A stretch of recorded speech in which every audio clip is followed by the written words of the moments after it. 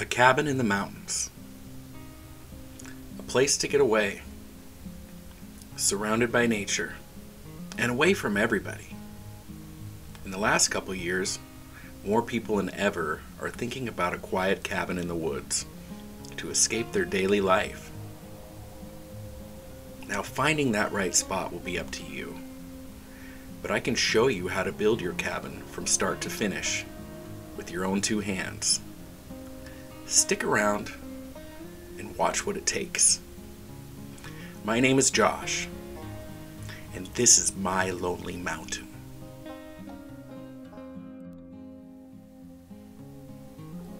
Last winter, up at the mountain, as we were breaking camp, it kind of dawned on me how cool it would be to have a little cabin. Um, we put the tent away and got it stored and kind of went home for the winter and I started putting together some drawings.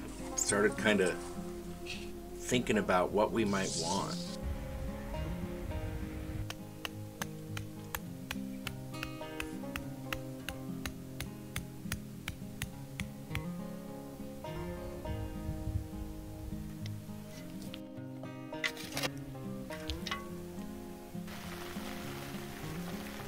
Now the soil up here, where we're at, is pretty rocky.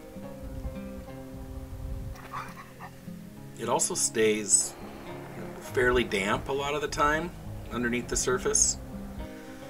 So I decided direct burial posts weren't for me. Um, but I think you could have done that. Um, probably would have gotten away with a good 20 years out of your cabin doing it that way. And I may only get 20 even with the concrete footings, but I like concrete. And that's the way I decided to go.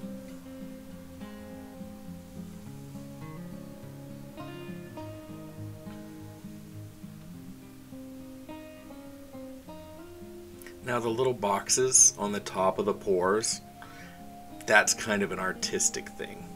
Um, I just wanted my pours to look nice and neat at the top. So where they come out of the ground, they'll be square.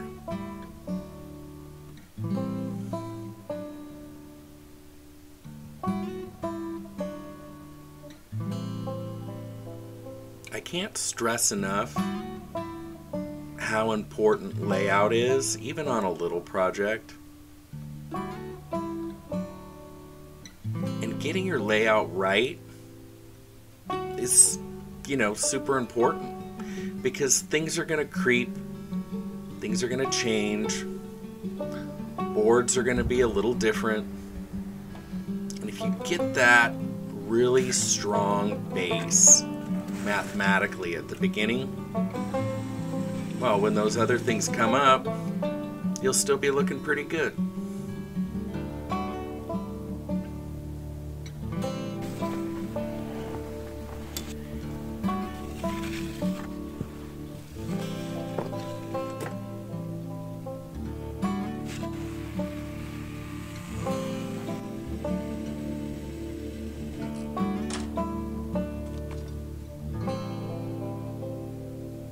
Mixing and pouring concrete is not the most fun job.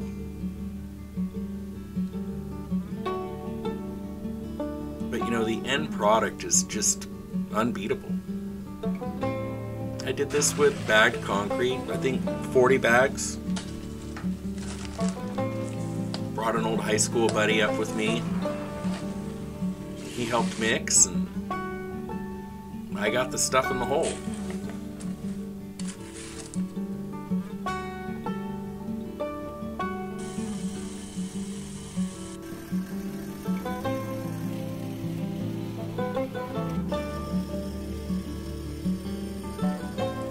Even had to create kind of our own water supply. We, we don't have a well yet.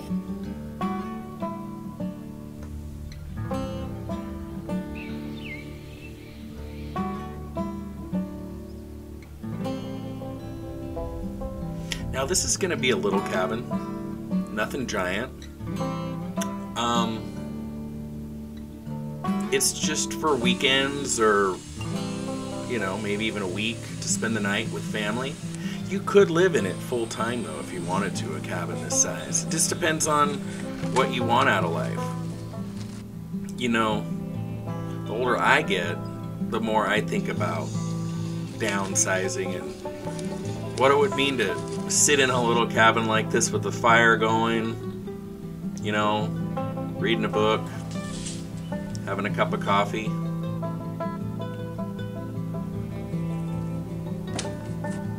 Think about it, the more I think that might be the way to go.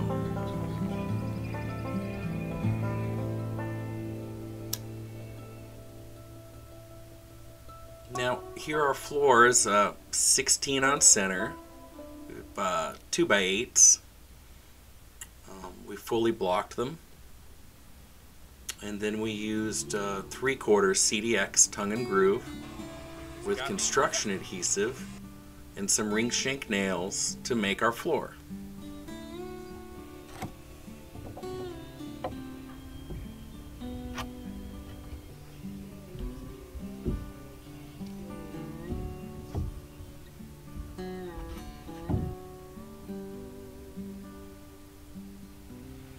Now building walls is pretty fun. Once again, layout's kind of king. We went with 16 inch centers again. Um, and you can do 24, you can do 12. I like 16 because I plan to insulate this cabin. Get a lot of snow up here in the winter and it gets pretty cold. So with 16 centers, you know, you buy your roll of insulation with, you know, 16 inch width and you're ready to go.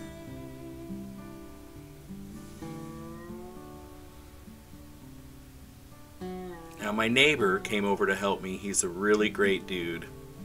Um, these walls could have been tilted with just one person. Um, but he really wanted to lend a hand and if you've got the help, why not accept it, right?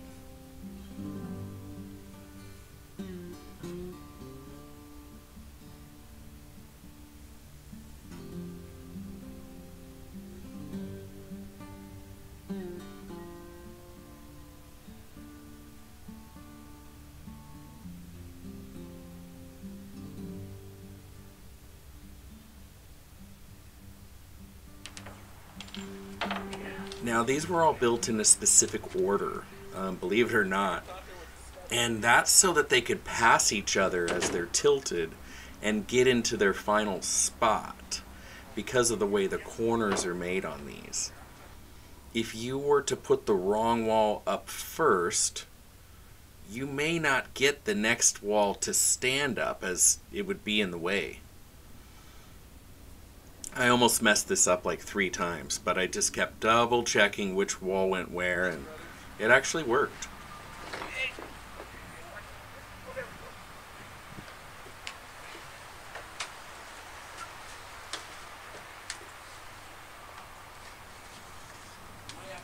So this place is going to have a lot of windows. It's going to let in some natural light. And I do a couple doors.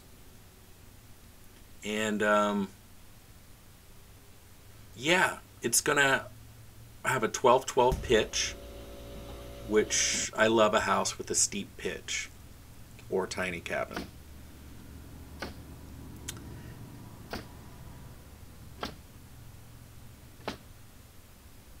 When you take on a project like this, and you know, you decide you're going to do it, follow through is the most important part, right? Don't just say you're going to do something. Do it.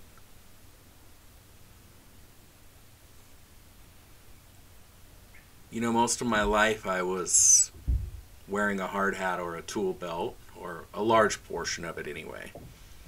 And I learned the value of what can be accomplished just, you know, with your own two hands. And, um, you know, a lot of people put different values on different things. I would tell you, I would rather know someone that could build a house you know, than had an, a bunch of extra pieces of paper hanging on their wall.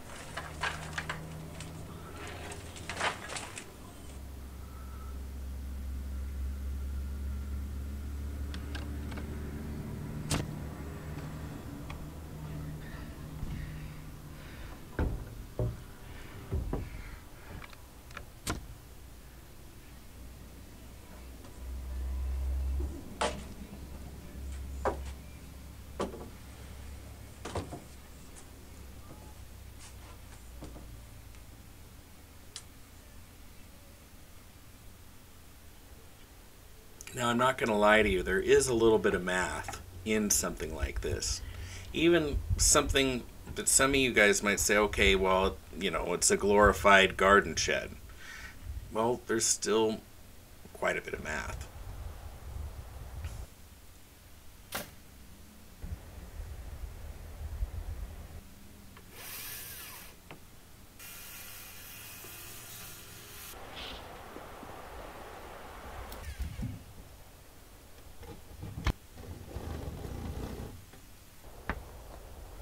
Going with half inch plywood for sheeting.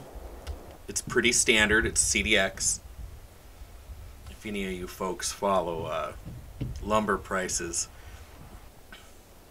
you'll know that in the matter of a few years, these went from about $15 a sheet to about 60 Now, for my windows, I went with used windows, believe it or not. Um, there's a place, you know, not far from me that deals in used house parts or takeoffs. And I kind of planned ahead of time and had an idea what I wanted and started squirreling away windows. And when I had enough of them, I, I kind of started deciding how I would, you know, lay them out in the walls.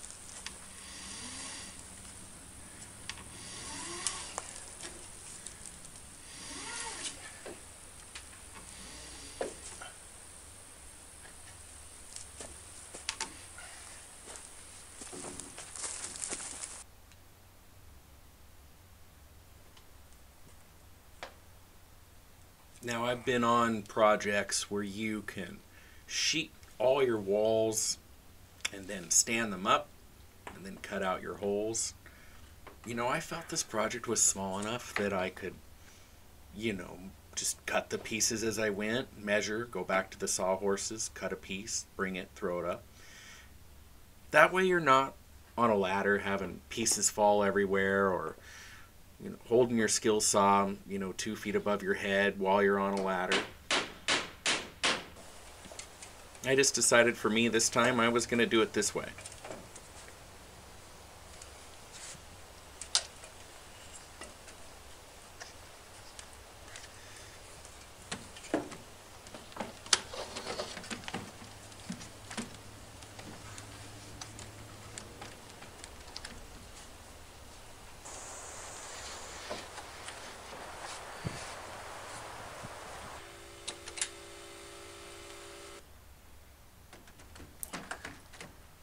So, I'm a nail gun guy.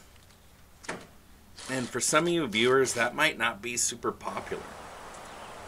I don't mind driving nail after nail after nail by hand. I did it for years. But I got a hold of a couple used nail guns years back for some side work. And they speed things up. You know? And when you only have weekends, to build your little cabin, sometimes speed is important.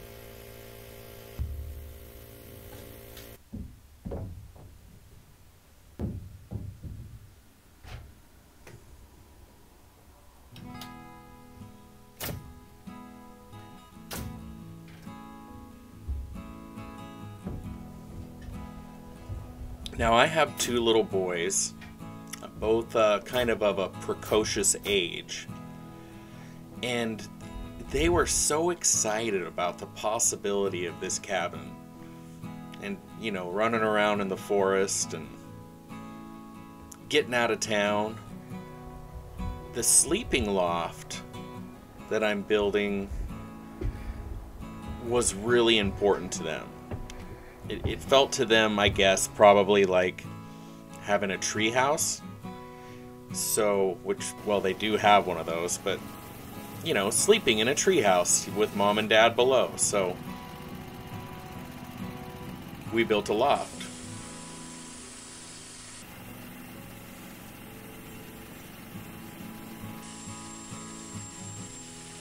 Now, like I said, lumber prices were on a major crunch when I was putting this thing together. And I do have a sawmill. It's it's my kind of my prized possession. And I was able to get a hold of some old poles. And we were able to save some money kind of cutting some of our own lumber.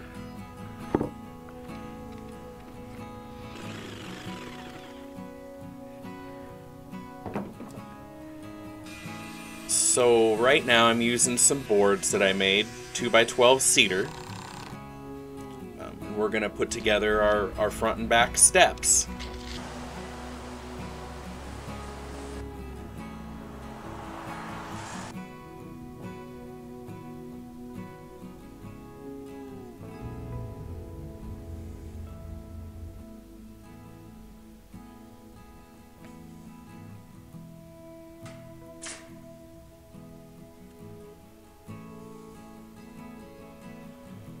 Building a good roof system isn't exactly an easy chore. I did a lot of research on this one. This is one of my first larger metal roofs that I've done. And there's just a lot of details to think about. There's a lot of blocking, um, there's a lot of strapping or skip sheeting. And so, um, you know, these are the things that kept me up at night thinking about the little cabin in the in the mountains were these details.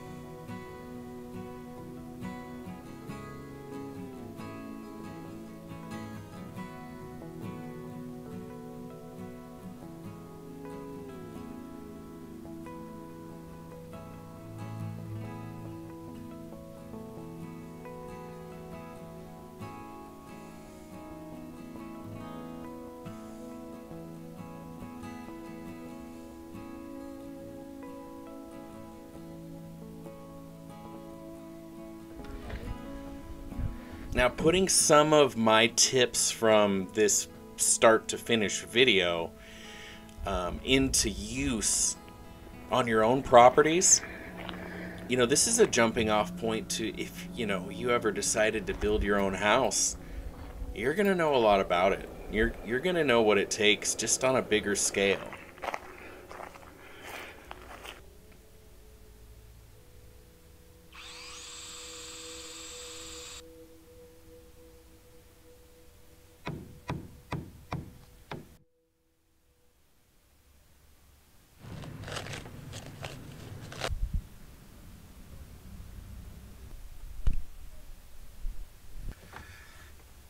So metal roofing on a 12-12 pitch is not going to be everybody's cup of tea. It's just not. Now, if I was doing this in a residential neighborhood, I probably would have had access to a lift or maybe some scaffolding or some better ladders, but we had what we had, and so we we struggled a little bit.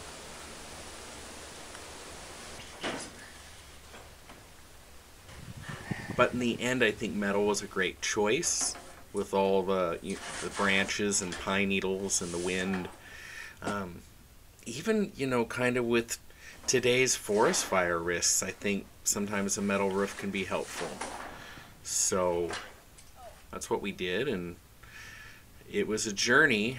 Um, and I had a lot of help on this one from my wife, Shelly, and um, we couldn't have done it without her.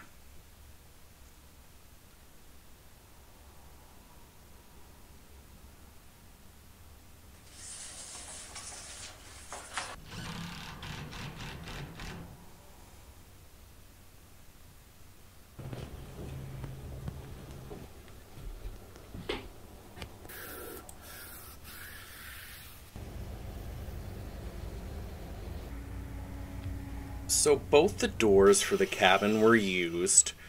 One was a freebie from Facebook Marketplace, and one I think was forty dollars um, from Craigslist. Uh, both needed to be caulked and painted. One of them needed a new lock set. But I was pricing these doors at like 400 bucks a piece new and I couldn't do it. I had to I had to go used. I felt like it was the right thing for us to do.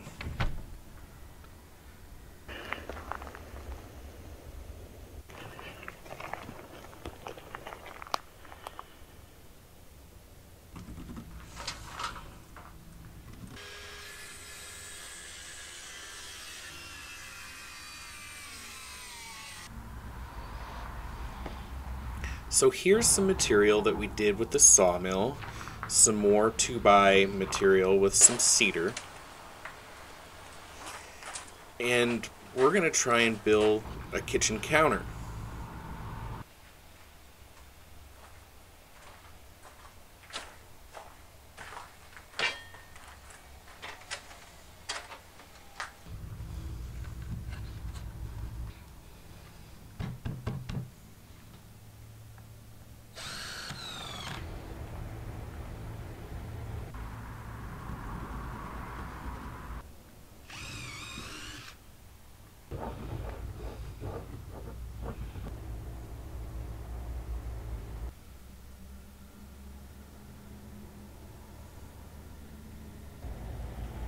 So cedar's probably not the world's best choice for this, but it's what we had, and we made it work.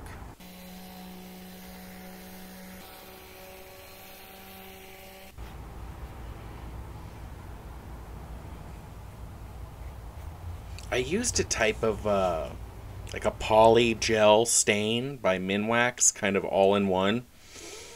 And I'm usually a little standoffish with the all in one stuff. But I was pretty happy with, you know, how it looked, so.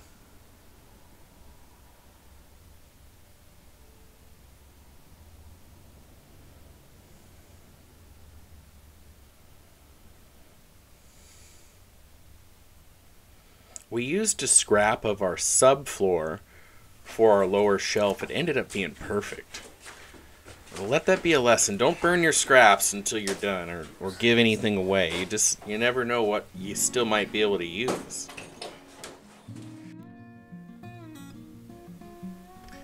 This was such a fun project. You know, it was a summer project. We came here off and on from May till October. And the family's really enjoying having a warm, cozy place to call our own.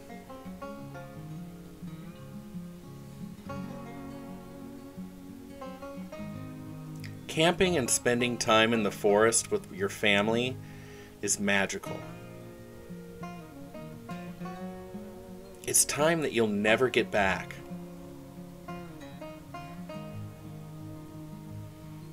Thank you for watching Cabin in the Mountains start to finish and thanks for watching My Lonely Mountain.